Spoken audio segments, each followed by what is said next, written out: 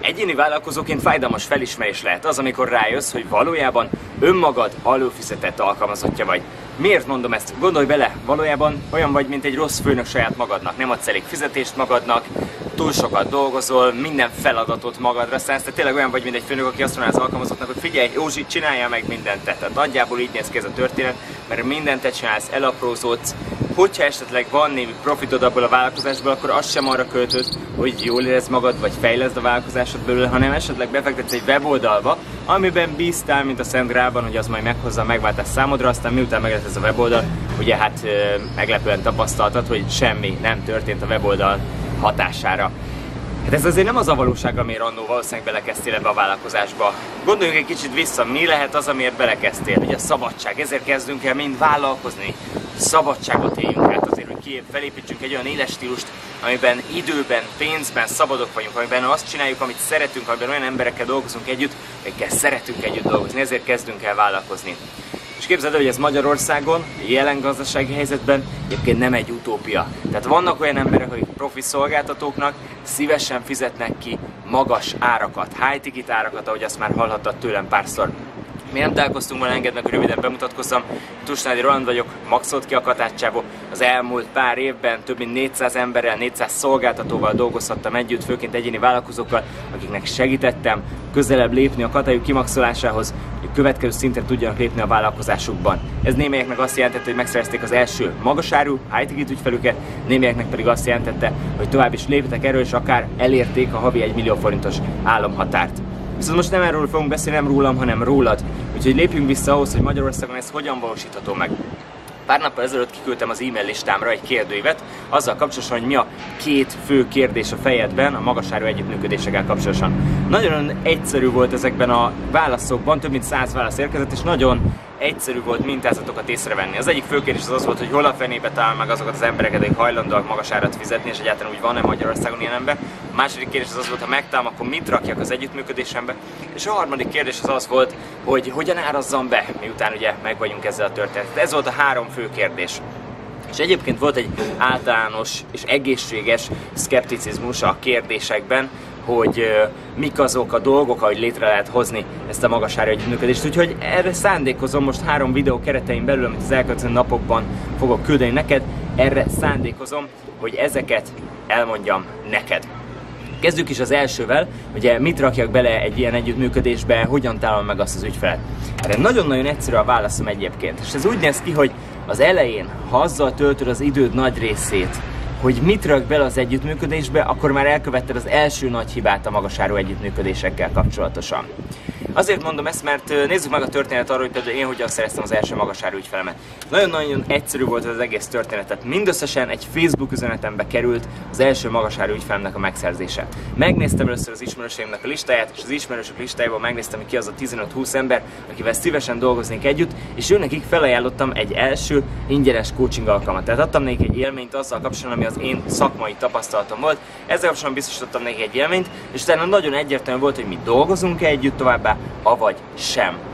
Ezt megteheted te is, tehát ez egy első nagyon egyszerű lépés. Viszont nem biztos, hogy szeretnél az ismerőségnek DM-et küldeni, privát üzeneteket küldeni, mert lehet, hogy félsz attól, hogy emelemesnek fognak nézni, és ezt meg is értem, hogy ez nem mindenki számára egészséges.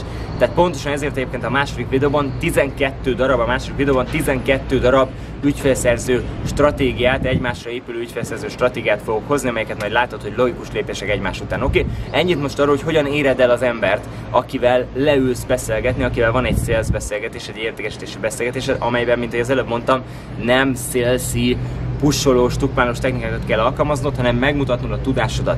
Tehát neked igazából a szűk keresztmetszet a magas értékű ajánlatokhoz, a csomagajánlatokhoz az első szűk keresztmetszet, hogy egyáltalán le tudsz-e ülni valakivel. Ezt a másik videóban megbeszéljük, hogy ez hogy néz ki. Viszont beszéljünk arról, hogy ha leültél már valakivel, akkor mit kell raknod az ajánlatba, és ez hogyan árazd. Mit kell raknod az ajánlatba kérdésre? Megint csak nagyon egyszerű a válaszom. Eric Ries-től idéznék, aki a Lean Startup módszernek a megalapítója. Ő egy chatbotokkal kapcsolatos alkalmazást, egy chatbotokkal kapcsolatos alkalmazási szoftvert fejlesztett a cégével, egy nagy startup voltak, és azt vették észre, hogy a startup világban gyakorta előfordul az, hogy több millió dollárt és nagyon-nagyon sok-sok mérnöknek az idejét fordítják rá olyan fejlesztésekre, például az ő chatbotja esetében is, amiről utána kiderül, hogy a kutyának sem kell egyébként ez a fejlesztés.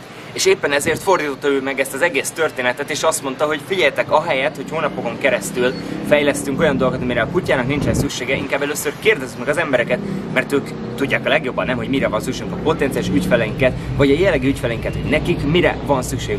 És ekkor elkezdtek interjúkat, kérdőíveket, kiküldeni az ügyfeleiknek, interjúkat készíteni az ügyfeleikkel, és így megtudták, hogy pontosan mire van a piacnak szüksége, és azt tudták adni nekik. Hát pontosan ezt jelenti, amikor valakivel leülsz egy ilyen beszélgetésre. Hiszen és itt a következő pont, hogy hogy néz ki egy ilyen értékesítési beszélgetés, hiszen ebben a beszélgetésben nincs más dolgod, mint hogy végigmenj egy egyszerű ABC folyamaton. Hogyan néz ki ez az ABC folyamat? Az első az az, hogy megbeszéltek, hogy hol van a jellegi ügyfeled most ebben a pillanatban, az az adott dolog a kapcsolatban, amiről, ami a te témád, ami a te szakértelmed. Megbeszéltek azt, hogy hova szeretne eljutni, és utána jön igazából a te konkrét coaching részlet, és segíts neki abban, hogy ahol most van, ahova el szeretné jutni A, B között, a C, ami a szakadék a kettő között, tehát ami összeköti az A, T jellegi állapotát vágyott állapotával, te vagy-e a megoldás. És ezt már meg tud mutatni az első alkalommal is.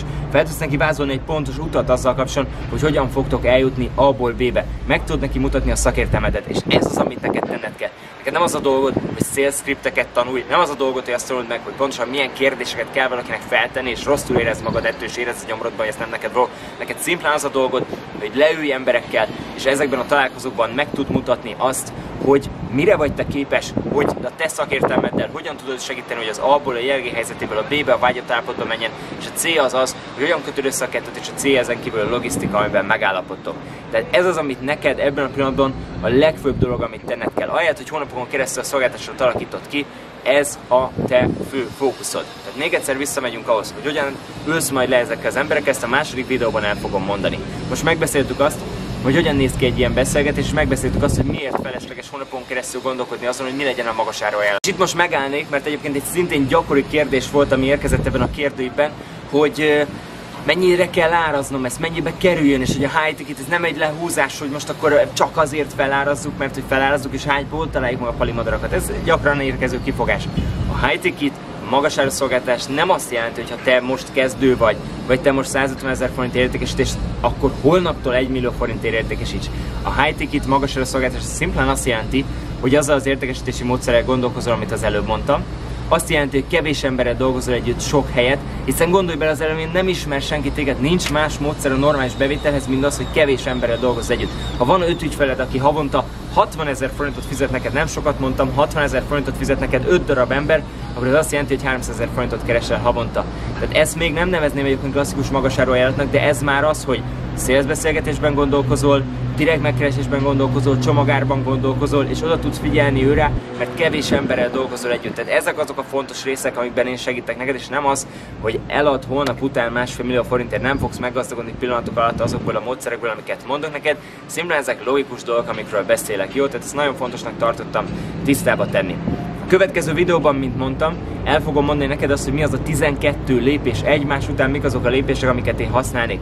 Ha most elvennéd tőlem mindenemet, ami van, elvennéd az e-mail listámat, elvennéd a social media jelenlétemet, elvennéd az összes ügyfelemet, és újra kellene kezdenem, akkor mi lenne az a 12 lépés, amit én tennék, egymás után logikus lépések, mi lenne az a 12 dolog, amit én tennék, ezt fogom elmondani a következő videómban. Ha tetszett ez a videó, akkor kérlek, hogy ha Facebookon nézel, nyomj egy lájkot, ha e-mailben láttad, akkor válaszolj erre az e-mailre, mondd, hogy mi volt ebből a videóból, amit elvittél magad, de ha van kérdésed, nyugodtan tedd fel, YouTube-on is nyugodtan a videó alatt tedd fel a kérdésedet, és nagyon-nagyon figyelj, mert érkezik, két nap múlva érkezik a második videó, és négy nap múlva érkezik a harmadik videó, és utána szerdán 18 órakor YouTube-on lesz egy bejelentésem, egy dologgal kapcsolatosan, amire több hónapja készülök. Úgyhogy szerdán 18 órakor YouTube-on találkozunk, addig érkezik majd a második videó, 12 darab ügyfélszerző módszerrel, majd kedden érkezik a harmadik videó a high ticket témakörében. Találkozunk a következő videóban két nap múlva.